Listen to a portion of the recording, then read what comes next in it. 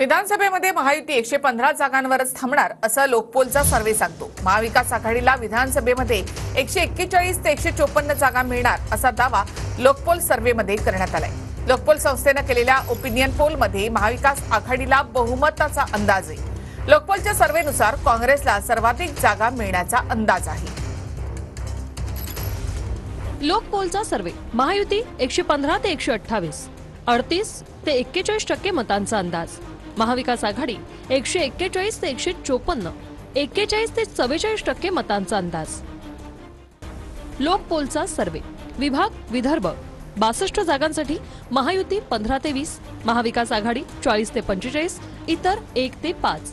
खानदेश सत्तेचाळीस जागांसाठी महायुती वीस ते पंचवीस महाविकास आघाडी वीस ते पंचवीस इतर शून्य ते दोन.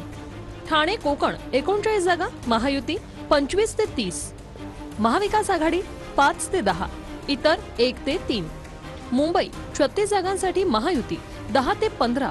महाविकास आघाडी वीस ते पंचवीस इतर शून्य ते एक. पश्चिम महाराष्ट्र अठ्ठावन्न जागांसाठी महायुती वीस ते पंचवीस. महाविकास आघाडी तीस ते पस्तीस इतर एक ते पाच.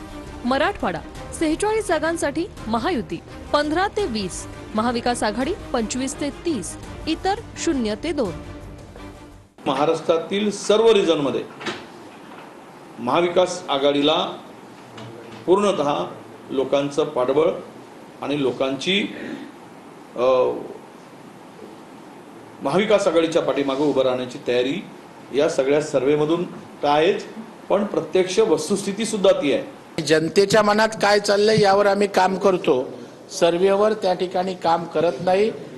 आणि पुन्हा एकदा महायुतीचा झेंडा या विधानसभेवर फडकेल.